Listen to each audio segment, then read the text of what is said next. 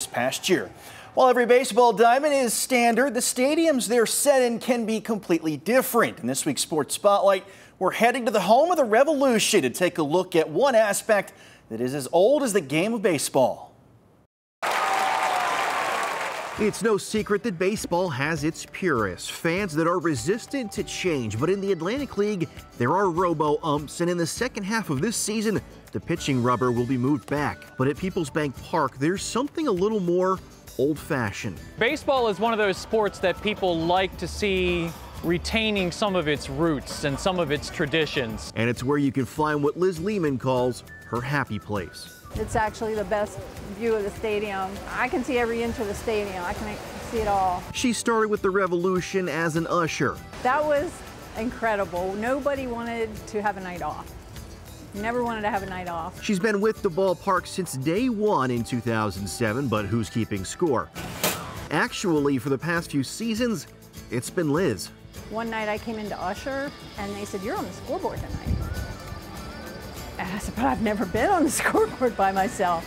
And that's that's when magic happened. I, I just started liking it a lot. It was like a fish taking to her, you know, her, her permanent pond. Uh, she loves it. Uh, she is meticulous out there. She keeps tabs on the action through the seventh inning hole and a radio, but she's hardly alone you know, you'll pass by there every once in a while and there's some fans leaning on the rail just curious to see how somebody keeps that board up to speed all the time. If it's before the game and I have plenty of time, I'll invite them in, have them look out the the hole there and, and see what a beautiful view it is from here. And the conversations continue on the other side of the tallest wall in baseball. Melky Mesa and, and uh, Wellington Dotel were the first two left fielders that uh, that I started to talk to, and now we're all pretty good friends. We go out to eat. With the flip of a switch, balls, strikes, and outs are added or cleared, and some number panels take a little more muscle than others after years of being pinged with baseballs. The lower the numbers, the more banged up they are.